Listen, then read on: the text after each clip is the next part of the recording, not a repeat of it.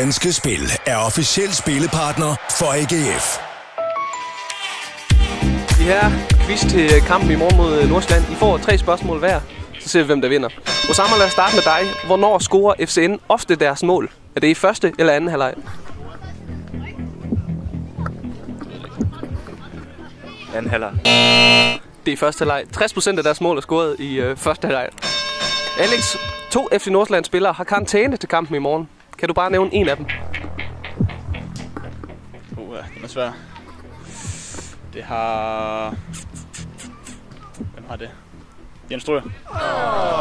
Det er Michael Jakobsen og Nikolaj Stockholm.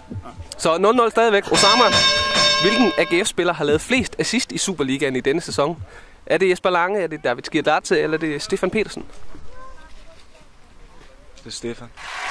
Korrekt, 1-0. Han har lavet tre stykker, de andre har lavet to. Så er der pres på dig, Alex.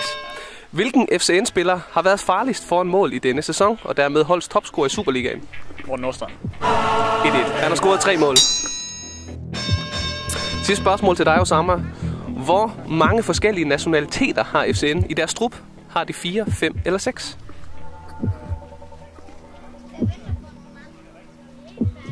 Fem. Det er simpelthen korrekt. Vil du prøve at skyde på, øh, hvad det er for nogen? Øh, de har en kroat, og så har de... Øh,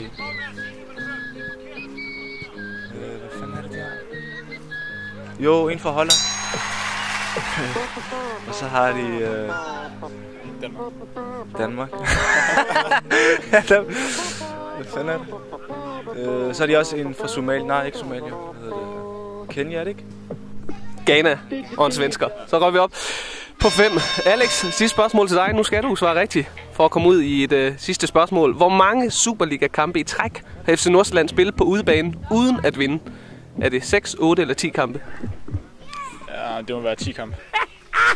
8 kampe. Samme 2-1. Du vandt også den her gang. Tillykke med det. God kamp i morgen.